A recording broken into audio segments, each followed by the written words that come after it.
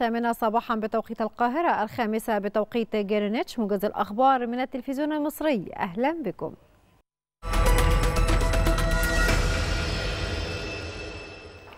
تواصل اللجنة الخاصة المشكلة بمجلس النواب لدراسة برنامج الحكومة اجتماعاتها للاستماع إلى عدد من الوزراء.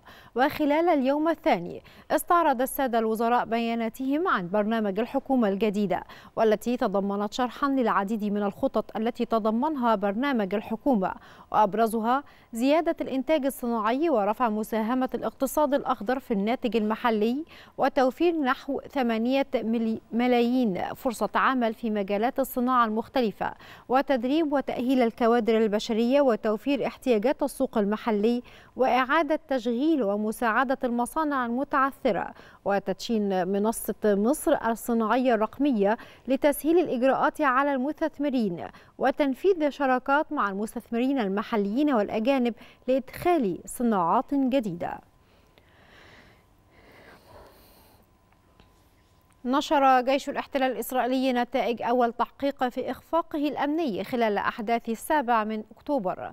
وأقر جيش الاحتلال في التحقيق بأنه لم يحمل مواطنين في أحد التجمعات السكنية التي تعرضت للأضرار. وأضاف أن التحقيق تناول سلسلة الأحداث والقتال وسلوك القوات الأمنية خلال اليوم. وخلص التحقيق إلى أن جيش الاحتلال لم يكن مستعدا لسيناريو تسلل الكبير لمسلحين إلى إسرائيل ولم تكن لديه قوات كافية في المنطقة.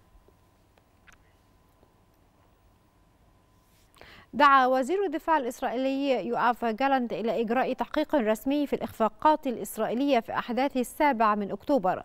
وأضاف جالانت أن التحقيق يجب أن يشمله هو نفسه ورئيس الوزراء بنيامين نتنياهو مشددا على ضرورة أن يكون التحقيق موضوعيا وأن يشمل جميع من يتخذون القرارات ومن ينفذونها أي الحكومة والجيش والأجهزة الأمنية.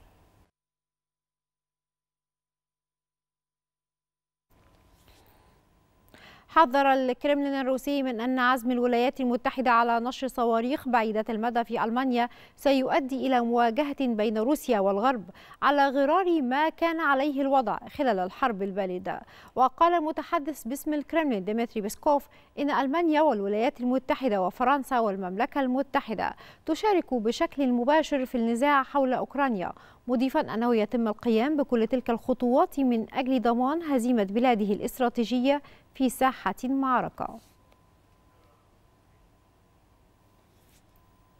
دعا 12 عضوا ديمقراطيا بالكونغرس الأمريكي الرئيس جو بايدن لإنهاء مسعاه لإعادة انتخابه بعد الأداء السيء في المناظرة التي جرت بينه وبين منافسه الجمهوري دونالد ترامب.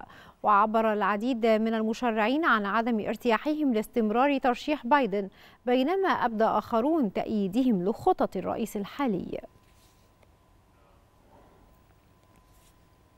يصوت أعضاء البرلمان الأوروبي في الثامن عشر من يوليو الجاري على المصادقة على ولاية ثانية لأرسولا فوندر لاين كرئيسة للمفوضية الأوروبية وفقا لجدول الأعمال النهائي لجلستهم العامة في ستراسبورغ وفي اجتماع قمة عقد في نهاية يونيو الماضي. اتفق قادة الدول السبع وعشرين على إعادة تعيين أرسولا فوندرلاين التي تمكنت من فرض نفسها خلال ولاية أولى مدتها خمس سنوات.